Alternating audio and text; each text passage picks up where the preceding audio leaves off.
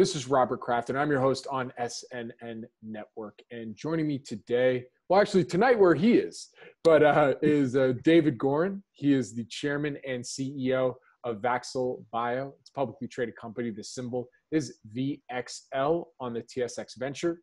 David, thank you for joining me today. Thanks, Robert. So uh, first things first, wanted to ask. I, I know you're based in Israel, you know, and uh, and not that that makes any difference in terms of our global pandemic because it's affecting us everywhere. But you know, I have to ask, you know, how, how are you and, and how's the company holding up during this pandemic? So I have to say, actually, I think in some ways it does make a difference because our uh, the impact in, of uh, COVID in Israel has been somewhat less than what uh, what you've seen in California and certainly what's been seen in New York and New Jersey. Um, Israel has a population uh, a bit larger than New York City, with uh, fewer than 300 deaths uh, from. So each one is, of course, horrible. But uh, when you compare to what's going on in New York City, uh, the system actually seems to be working reasonably well. Uh, we've also managed to keep on working and progressing uh, with all of the, the rules that we follow. we all have our masks. I have mine right nearby so I can put it on um, and, and lots of uh, Purell, et cetera. So uh, we all uh, have learned how to operate in this environment, but our lab is up and running and we continue to progress our work and our collaborations and we do lots of meetings this way as well. Well, that's a that's a perfect seg- segue right here because um, you know the company has been putting out a lot of news about working on a vaccine for COVID nineteen. Um, can you explain the company's approach and progress thus far? Sure. So uh, before I dig into the, the COVID-19 story, I just want to mention also that uh, we've been around for a while and have uh, had research programs in infectious disease before, as well as in oncology. Infectious disease, specifically, we've advanced to animal models in tuberculosis and found a good candidate there. Uh, and in oncology, we actually uh, also had a clinical trial, a phase one, 2A clinical trial, where we saw good safety profile for our uh, signal peptide platform. So COVID for us is, is in fact um, a new vaccine candidate, but it's based on a platform that's been around, that's been tested, uh, preclinical and, and even into the clinic. Uh, it's based on this unique platform of what are called signal peptides, which are short uh, peptides that are made in uh, most new proteins. And they target infected cells, which is something unique. Uh, many vaccines work by uh, stopping the virus from getting in, uh, but in our case, what happens is we prime the immune system, we strengthen the immune system to recognize cells that have been infected, and that stops the infected cell or the virus from replicating to other cells and getting out into the body. So, um, so that's what's different about us. Another thing that's uh, different and unique and what we've been working hard on uh, is partnerships. And we recently announced a, a, great and exciting partnership with the Tel Aviv Medical Center, which is Israel's largest tertiary care facility. And what we're doing there is progressing our preclinical program for now. And then when we're ready, we'll move into the clinical trials there. Uh, and, and by partnering with various entities, we are able to bring together the best minds, work together. We get uh, extra validation of our platform. We get insight that we wouldn't have if we just worked in isolation on our own. Um, we've also done some in licensing, so we bring in technologies when we need to. We're exploring more in the COVID space as well. Um, and so we have that ability to be flexible and agile uh, as opposed to many other companies that rely on fixed structure, uh, which is something that helps us quite a bit and we're advancing our uh, our preclinical program in that newly established uh, partnership with Tel Aviv uh, Medical Center. Uh, so we're excited about that and looking forward to having results. Yeah, that was that was where I, I was going to go next. Is is where are we currently at in the process? You know, are we pre, still preclinical? So what's what you know? Obviously, this there might be a long road here. I know all governments across the world are trying to move things as fast as we possibly can because the race is right. on you know so so i mean so what what are from what you can tell us from where you are currently right now you know what what are some of the next steps to get the vaccine across the finish line whether it's both either in-house or through some of these collaborations that you set up so I think the, the phrase you use, race is on, is, is a great uh, phrase to describe what's going on. And there is a race here. there are a lot of players in it. There are more than 70 companies working on vaccines, uh, according to the WHO list. Um, some of them are getting a lot of resources uh, from large pharma companies, from governments, et cetera. Um, I think what's important to for us to stay focused on is that um, it isn't a race with one winner. Uh, generally, vaccine companies don't succeed with a single company making one vaccine for one uh, target. Uh, and especially in this case where the target audience, the potential is uh, um, in the, in the uh, billions of people on planet Earth. So the idea of having one company that's going to win, uh, I think is probably not the right way to think about the COVID vaccine story. So that's number one. The second thing that we try to keep in mind is that even if one or two or three companies come out with a vaccine, it won't be the end of this.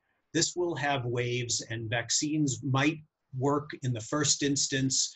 They may work better on some people and not as well on others. Uh, the, the virus may mutate, although so far the mutations have been relatively minor.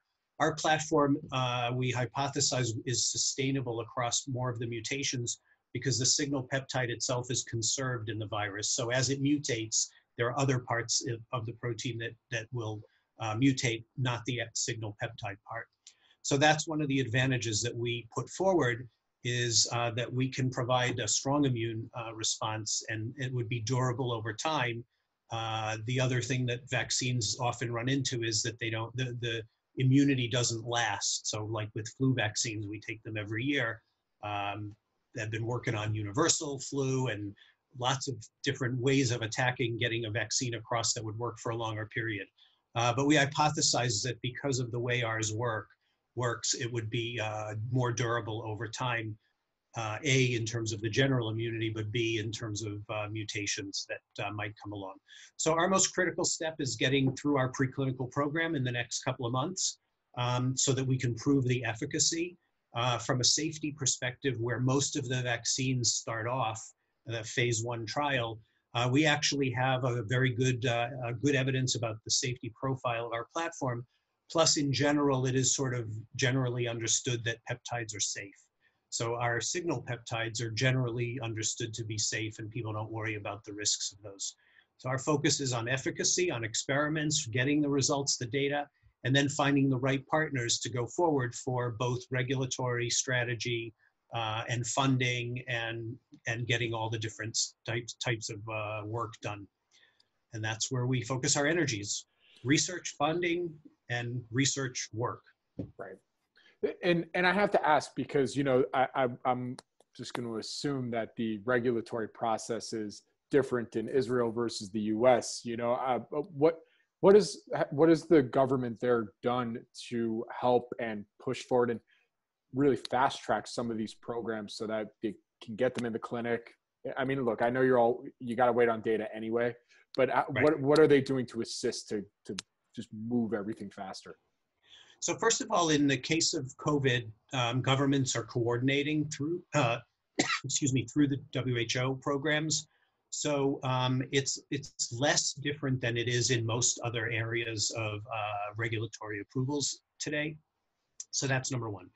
Uh, number two, the conversations that we have are global. So we're not committed to re registering the product in Israel first or anywhere first. Uh, we'll go wherever we find the the, the most uh, the most uh, attention and the the best chances of success. We want to assure everyone, of course, first and foremost, uh, in a vaccine that it's safe. And then, of course, we want to make sure it works. And wherever we get the best partnerships for that, that's where we're going to go. And that's the advantage of being flexible and not relying on the fixed infrastructure that can't be moved around. Got it. And, you know, so I, th- I think that that kind of wraps the bow on your the COVID indication. You know, that's look, that's the most pressing thing. You know, and, and it's interesting because earlier in the interview you alluded to this next question I was going to ask you because I think for all companies or most companies that I've talked to on here, um, especially that are are dipping their toe in the COVID nineteen race, uh, this is a new indication for them. You know, from yeah. on the treatment, drug development, vaccine, testing kit side you know, and they've had companies that have done quite a bit even before that, you know, and uh, I, I, Vaxil is no different. So, you know, like I said, you talked about it a little bit earlier, but can you tell us a little bit more about the history of the company prior to uh, the focus on vac- on uh, uh, uh COVID? Sure. So I think the, the place I would start there is to emphasize that even though COVID is new because it's new for everybody, it's a new virus, um, it, it's not the, the idea of doing infectious disease vaccines is not new for us. So we spent quite a bit of time and energy in tuberculosis, as I mentioned before, got some good results, uh, and we will look forward to progressing that. We also believe uh, that our signal peptide platform can uh, function in other um, in other infections, virus and otherwise. So we will also be exploring that. And historically, we've looked at various infectious diseases uh, in terms of where we think we could go. So we have uh, computational tools that we can use um, to uh, estimate the, the efficacy where we think we can have the most impact with the signal peptide uh, platform. We identify the right signal peptides as we did with COVID and as we did with tuberculosis, and also as we did for multiple myeloma, where we had our clinical trial in oncology. So uh, as you said, we've been around for a while. Uh, we progressed the oncology program, um, as I said, as far as a phase one, 2A study where we saw good safety. We saw good indications of biological activity or what would eventually hopefully translate into efficacy. Um, there are a lot of attempts in the, in, the, in the archives of companies to try various disease treatments and vaccines with peptides. Uh, they don't generally succeed. We believe that what we have is different in that it's the signal peptide, and again, the, this small area that is conserved and uh, affects the, uh, the outer layer of the cell. And that's where we see, for instance, in solid tumors, a lot of potential for a cancer treatment. Um, there's a, theory around a cancer vaccine. I, I, struggle with the word sometimes. I think uh, it is possible, and we do see evidence in our platform that we can uh, we we can prevent uh, metastases. So in that sense, a cancer vaccine is imaginable with our platform. Um, and we hope to be able to progress that um, in the next few months as well. We'll kick off some studies um, in solid tumors there. Um, so before we did multiple myeloma, but we think the, the target for us is more in solid tumors. And across all three. So we'll work in oncology, we'll work in other infectious diseases, and we'll move COVID forward as well as a vaccine. That'll all keep you very busy, that's for sure. Yes. so, so, all the gray hair. yeah, that's blonde. What do you mean? Oh, right. Uh, yeah. I like your camera better than mine. so, David, what, also, I have to ask, what was your background prior to joining Vaxil? So, um, I've been in the pharma industry for over 30 years. Uh, I spent about 20 years at Pfizer, 10 years at AstraZeneca. Um, started up some commercial operations in both companies, uh, ran them as CEO of the operation for a while, uh, worked on bringing research in and uh, um, all different kinds of commercial roles, worked in US business, global businesses. Um, at Pfizer, uh, my last job there was I headed up the worldwide strategy and business development group in New York uh, before I moved over to AstraZeneca. Uh, at AstraZeneca, I also did a bunch of global roles. My last role there was that I headed up the digital health strategy.